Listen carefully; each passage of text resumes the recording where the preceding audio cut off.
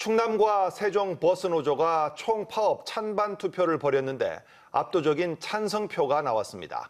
충남에서 4개 시군을 제외하고 총파업에 참여하기로 결정하면서 버스 운행 중단이 초읽기에 들어갔습니다. 반면 대전의 경우 일단 이번에는 빠졌지만 여전히 불씨가 남아 있어 언제든 파업으로 돌아설 가능성이 열려 있습니다. 최은호 기자입니다. 충남 세종 자동차 노조는 어제부터 이틀 동안 노조원 2,800여 명이 총파업 참여 여부를 놓고 투표를 벌였습니다. 결과는 96.3%의 압도적인 찬성입니다. 충남 세종 자동차 노조에 가입된 버스 회사는 모두 18개로 시외버스 5개사와 시내버스, 농어촌버스 13개사입니다. 천안과 아산 등 도내 대부분 지역 버스 노조가 참여해 2천여 대가 해당됩니다.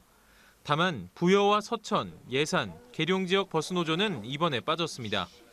내일 열리는 전국 자동차 노조연맹 대표자 회의에서 파업 여부가 최종 결정되면 당장 15일부터 운행이 멈춰집니다.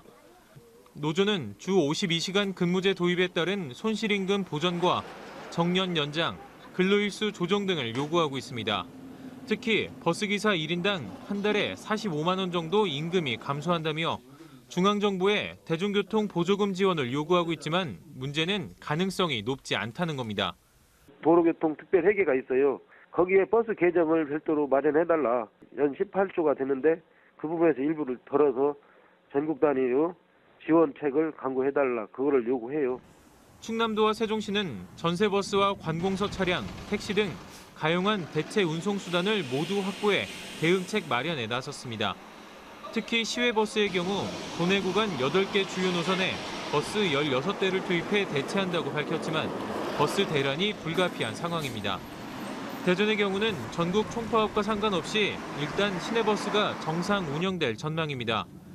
대전 버스노조 관계자는 노동위원회에 노동쟁의 조정 신청을 했지만 업체 측과 교섭이 부족해 현재는 노조원 찬반 투표 단계가 아니라며 15일 총파업 동참은 어렵다고 밝혔습니다.